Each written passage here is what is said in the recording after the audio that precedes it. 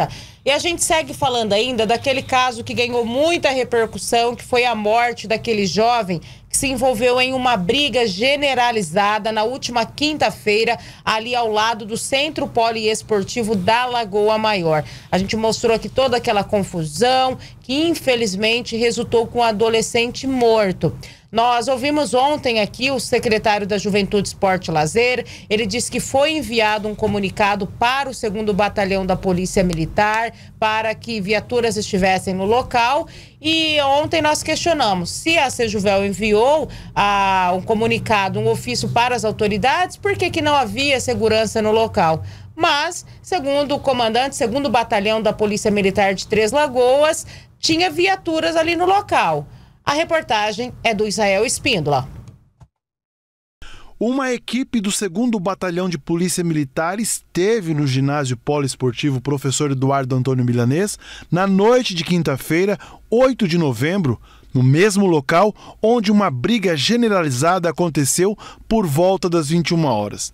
De acordo com o Major Francisco Rogeliano, esta equipe permaneceu até o final dos jogos e depois precisou se deslocar para atender outras ocorrências. Para este dia, que era o dia 9 de novembro, nós tínhamos uma OS, uma ordem de serviço prevista para o policiamento no ginásio poliesportivo, onde este policiamento se iniciava às 17h45, horário inicial da primeira partida. Nós teríamos ali três jogos e os jogos tinham a previsão de terminar às 19 horas e assim foi feito o policiamento preventivo, ostensivo, tá? com uma viatura pelo local em todo o tempo onde estavam sendo realizados os jogos. De acordo com as informações obtidas, a briga entre dois adolescentes começou em um restaurante de comida oriental, onde logo tomou grandes proporções, inclusive sendo inflamado por outros jovens.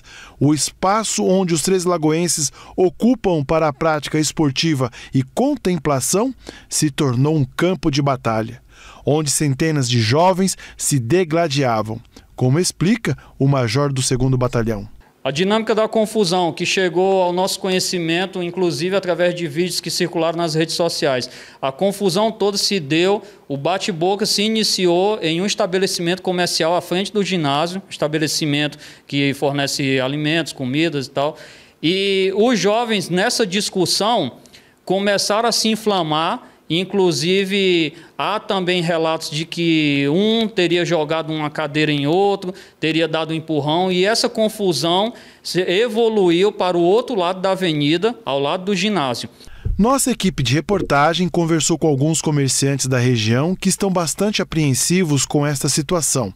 E eles relataram que naquela semana já haviam presenciado um tumulto e baderna a polícia não descarta a hipótese de que esses jovens teriam marcado o confronto pelas redes sociais, como explica o major da PM. Eram jovens que possivelmente estavam acompanhando os jogos, possivelmente, porque não há provas de que eles estavam como torcida organizada, mas que tinham ido para aquele local com o intuito de disputarem, disputarem grupos, disputando entre si tá? sem motivação alguma, marcando disputas é, que, que iriam ter de agressão, certo? Que disputando forças, certo? Como se fossem dois grupos assim a ermo que se encontraram para se agredirem mutuamente. Sobre a permanência do Serviço Móvel de Urgência, o SAMU, a Prefeitura de Três Lagoas, por meio da assessoria de imprensa, informou por meio de nota que o SAMU